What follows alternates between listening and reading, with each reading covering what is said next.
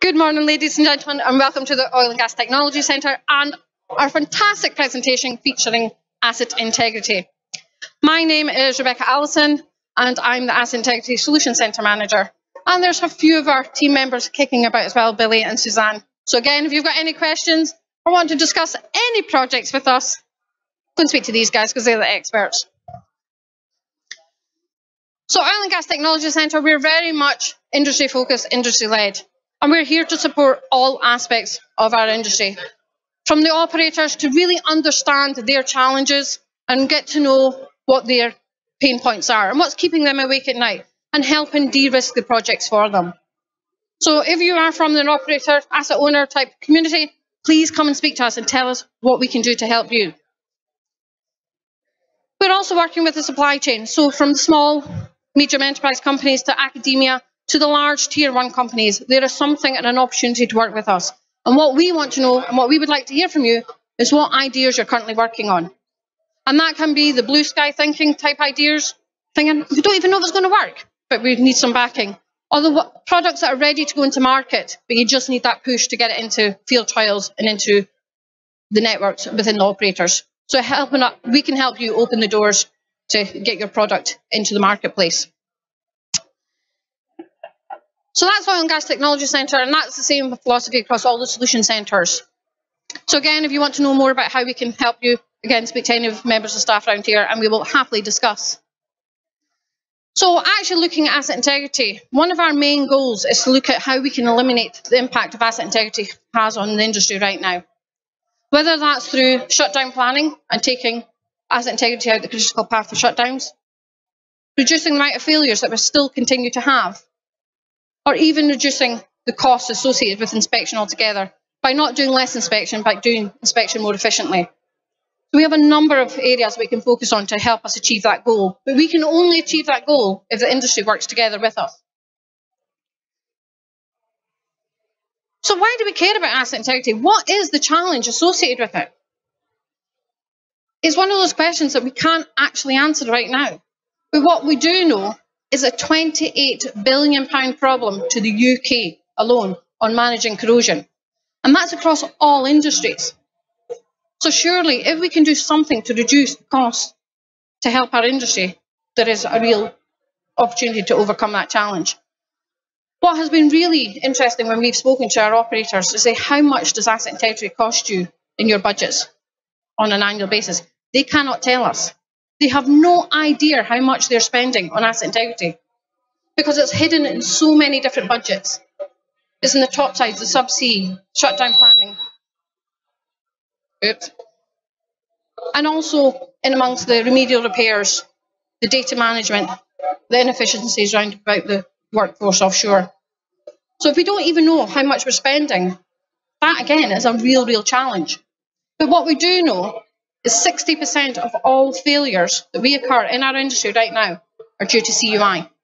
So corrosion under insulation is still a major factor in our industry today and has been for at least 20 to 30 years. And we have made no inroads into fixing that challenge so far. And the other one that we did get some figures on was the cost of vessel and corrosion under insulation inspection is £300 million a year to our industry. That's just for inspection. That's not about the production deferral, the, the work that's required to put in place to open up vessels, the cleaning, scaffolding and all that. Just the actual inspection activity itself costs our industry £300 million a year. That's all about cost savings.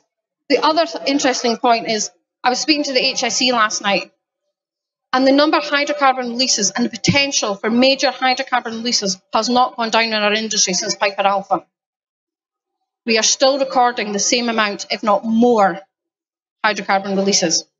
So regardless of the cost savings, there's a massive, massive safety challenge that we need to look after our people that we send offshore. So it's all very well knowing what challenges are. There has to be a commercial advantage to actually for companies to develop technology to overcome those challenges. And we've got some figures that we've been working on, but moving from a Better? Okay, thank you. so moving from a non-intrusive inspection regime or to a non-intrusive inspection regime will actually save our industry £157 million a year. So that has to have to some commercial advantage to companies to actually help move into that arena. From the work that was done from the OGA and Oil and Gas UK, they have equated that if we can bring new technology to our industry, we can save £700 million a year just on pressure vessel management and CUI management. So again, if we can tap into some of those opportunities, there is a real commercial advantage to bringing new technology into the industry. So also from the work that they did, they actually said to achieve those the 700 million pound saving, we have to invest 14 million pound into technology development. That's a huge amount of money that our industry doesn't have to do R&D, but that's where we play the part in. We will bring the funding if you bring us the ideas and the challenges. So what is the future? What can we do? A lot of the technology we've looked at overall in the last year since we've been going has been very much on the fix today. It's about using some of the techniques that we already know about and trying to get them into the market. But that's not going to solve, solve our problems long term. And we now need to think about how do we actually change the future for transformed tomorrow? How do we support the basin going forward and maximising economic recovery? And also helping our companies that are based in Aberdeen in the northeast to use their skills and export their technologies globally and tap into a global market. We will support all companies in both those initiatives. We're also reaching out to the nuclear and aerospace, but other industries which are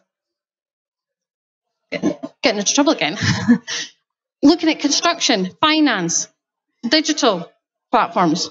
So industries that we would never think about looking into because corrosion and asset integrity is in all of those industries. So where can we bring those technologies into our industry, but also where can we diversify and put some of those technologies into their industry?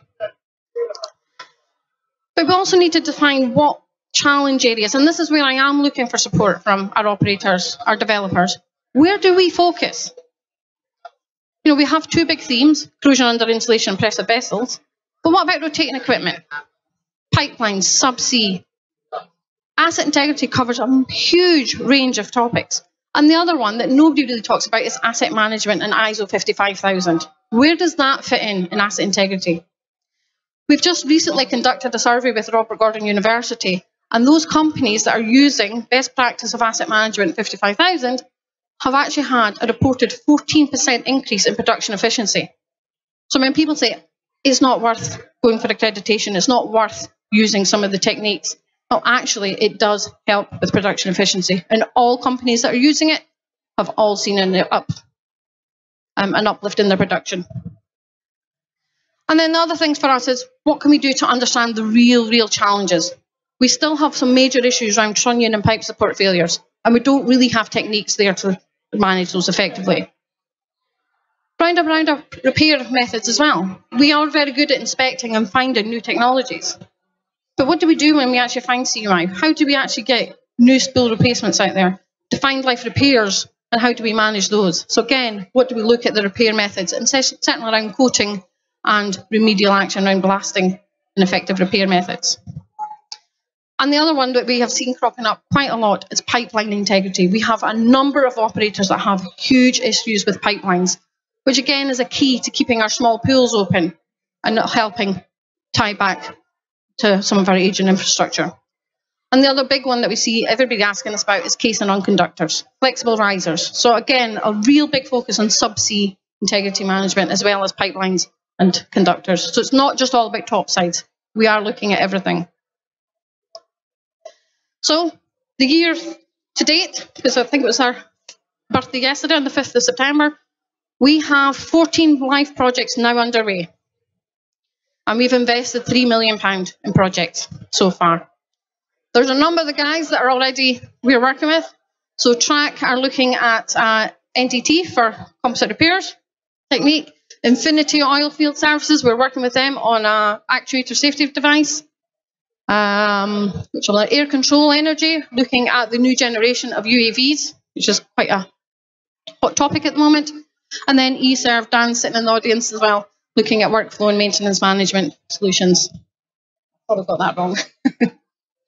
and again, working with some other industry partners around Hoist, so supporting, supporting one of the Hoist JIP projects on CUI. And then we also have industry partners in there with Chevron and Total already signed up, and Maersk Oil, and a few others coming along the way as well. So we have the industry partners, but we also have the companies as well. And you can see from the range there, we have a, a, a mix of large, small, and medium companies working with us. So we can't do this on our own. And I keep saying this, and we've been saying this for the last year. But what I want to say and what I want to leave with you guys today is imagine what our oil industry could look like if we can work together to find and overcome our challenges. Imagine what our industry would look like if we can actually make us more competitive and keep the basin going for longer. And imagine what our industry could look like if we had open access to field trials and every operator was eager and keen to support new emerging technologies. Together, all of us can actually achieve that goal and that vision not just for us, but for the next generation and for the students and the school kids that are still coming through to say, actually, oil and gas and asset integrity is a real career path and a real area for us to actually overcome challenges. So that's my presentation. Hopefully you all heard me with my dodgy mic problems. I would like to open up the floor for discussions. I want to hear what your ideas are, what your thoughts are, and are we focusing on the right areas? Is there something that we should be looking at? Is there something we're missing? Well, over to our audience.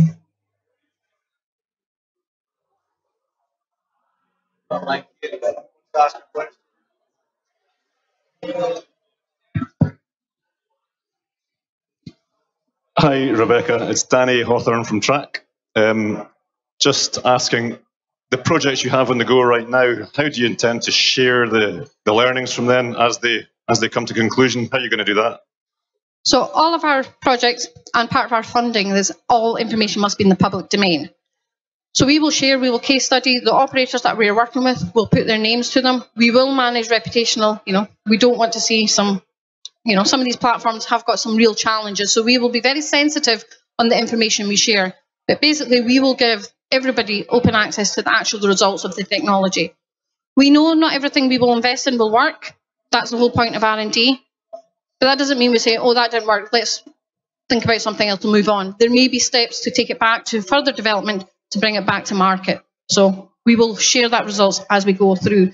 Even with the Hoist project, which everybody knows Hoist are very much a closed group, the caveat for us actually supporting them, those results will be in the public domain and their members have agreed to that as well. Because it is all about sharing and collaboration, which is always a bit of a buzzword, but actually it's about sharing so people can have commercial advantage as well.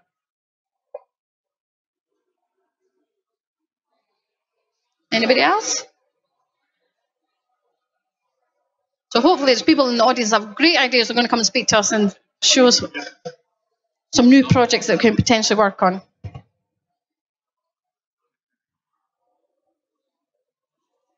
Rebecca, would it? Rebecca, would it be possible to have a PDF copy of your slide presentation? I believe the presentations are going onto our website, and then if anybody, obviously Dave, I will send them through to you, no problem. Thank you very much, Rebecca.